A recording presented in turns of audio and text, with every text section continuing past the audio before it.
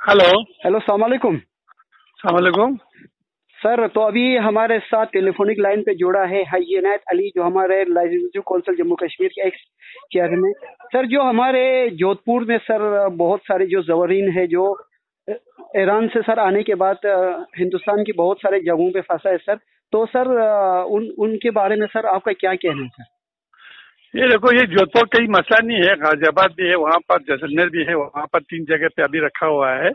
उन सब का क्वारंटाइन खत्म होते ही उनको लाना है। गवर्नमेंट ने अपनी जिम्मेवारी में लिखा हुआ है। हम लोगों को इतना परेशान होने की ज़रूरत नहीं है। अभी थोड़ा बहुत घर की तरह इंजाम तो नहीं होगा क्वारंटाइन में जो है थोड़ा बर्दाश्त करना पड़ता है। क्योंकि ये जो है आलमी सतह पर एक वबा फैल गया है, इस वबा का मुकाबला करने के लिए हम सबको अपनी तरफ़ से न कुछ न कुछ मदद, अपने आप का मदद करना चाहिए, सब कुछ गवर्नमेंट के ऊपर नहीं छोड़ना चाहिए। लेकिन इस वक्त जो प्रॉब्लम आ रहा है वहाँ पर कुछ लोगों ने मैसेज दिया है कि हमको ये प्रॉब्लम है, हमको वो प्रॉब्लम है, उनको वहाँ के गवर्नमेंट की नोटिस में डाला गया है यूटी की नोटिस में डाला गया है। हमारे कौनसान ने भी उस दिन प्रेस कॉन्फ्रेंस दे दिया वहाँ पर, इतना ज़बरदस्त प्रेस कॉन्फ्रेंस दे दिया वहाँ पर। उन्होंने यूटी की गवर्नमेंट के उसमें पहुँचा दिया सारा बात। तो लिहाजा इंशाल्लाह जो है, जल्दी जो है इनका मसला हल हो जाएगा। क्वारंटीन जिन जिन जिनका खत्म होते होते वो लोग अपने आप जो है, वो लोग घर पहुँचना शुरू हो जाएगा इंशाल्लाह। तो सर, आपका क्या मैसेज है पूरा हमारे जो लद्दाख एडमिनिस्ट्रेशन है? क्योंकि लॉकडाउन जो है, वो हमारे प्रधानमंत्री ने सर आगे एक्सटेंड किया। लेकिन हमारे लद्दाख के अंदर सर बहुत अच्छा कंट्रोल हुआ है सर। पब्लिक के पब्लिक ने हंड्रेड परसेंट ताउन दिया एडमिनिस्ट्रेशन को सर। तो आपका क्या मैसेज रहेगा सर पूरा लद्दाख के आवाम को? इस ये देखो ना ये पब्लिक का साथ तो पूरा हिंदुस्तान दे रहा है पूरा हिंदुस्तान में लॉकडाउन चल रहा है पूरा लद्दाख अकेले में लॉकडाउन नहीं है। जब गवर्नमेंट ने जो है कदम उठाया ये लोगों की सेफ्टी के लिए हम अपने सेफ्टी के लिए कदम उठाया तो लद्दाखियों ने जितने भी हमारे लद्दाख है करगिल के लोग है ले के लोग है उन्होंने जो है वहाँ पर हमारे वहाँ लोगों को कॉपरेट किया। ये बहुत अच्छी बात है हम लोग को इतना शूर होना चाहिए हमारे ये हमारे लोगों का शूर है हमारे लोगों का निगनियाती है। उन्होंने साथ दे के जो है अमरे आपको बचाने की कोशिश कर रहे हैं। लेकिन मेरा यही ये है कि आइंदा भी जो है, हम लोग को तरीके से मतलब जिस तरह गवर्नमेंट बोल रहा है, उस हिसाब से बहना पड़ेगा। उसके बगैर चारा भी नहीं है हमारे पास।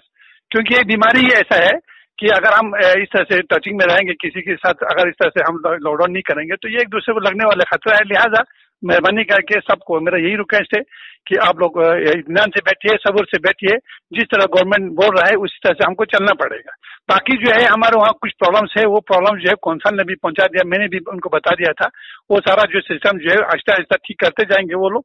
तो लिहाजा हमें उम्मीद है कि गवर्नमेंट जो है जो हमारे लोगों ने हमारे डिमांड रखे हैं हमारे कौंसल के थ्रू मैंने खुद भी बोला था वो, वो, वो सुन लेंगे उनके बात सुन के वो आगे जो है काम करने की कोशिश करेंगे वो लोग इंशाल्लाह। आज सुबह से सर एक न्यूज़ वायरल हो रहा है कि कुछ स्टूडेंट्स जो कश्मीर से कश्मीर से बिलोंग करता है उनको राजस्थान से एडलिप करके श्रीनगर लाया। सर सर उसके बारे में आपको कुछ नोटिस है सर? नहीं वो कश्मीर का जो स्टूडेंट मेरा अभी नोटिस में नहीं है लेकिन फिर भी मैं पूछना चाहता हूँ मैं आपसे पूछना तो कश्मीरी जो है लोकल इंडिया में पता था कि बाहर से जो मालिक से या बांग्लादेश से या ईरान से या कहीं दूसरे कंट्री से लाके क्वारंटाइन में रखा तो अगर बाहर से लाया तो उनका क्वारंटाइन खत्म करके लाया होगा उनको।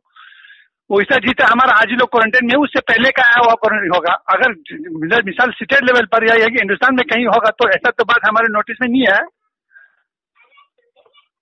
तो सर, ये हमारे लेजिस्लेटिव काउंसिल एक्स चेयरमैन हजीनियत अली साहब था तो लोगों को यही मैसेज दे रहा है कि लॉकडाउन को फॉलो कीजिए, क्योंकि ये एक पैंडेमिक बीमारी है, जो पूरा हिंदुस्तान के साथ साथ पूरा वर्ल्ड इसको झेल रहा है। तो ये इसने अच्छा एक मैसेज दिया कि जो हमारे वहाँ पे जोधपुर में हो या कहीं भी हो या ईरान में जो फंसा है तो उनको हमारे हिंदुस्तान की गवर्नमेंट उनका जो मतलब क्वारंटाइन में रखा है, उनका पीरियड खत्म होने के बाद उनको एवोकेट किया जाएगा, लेकिन लोगों को इतमान रखने के लिए बोला है।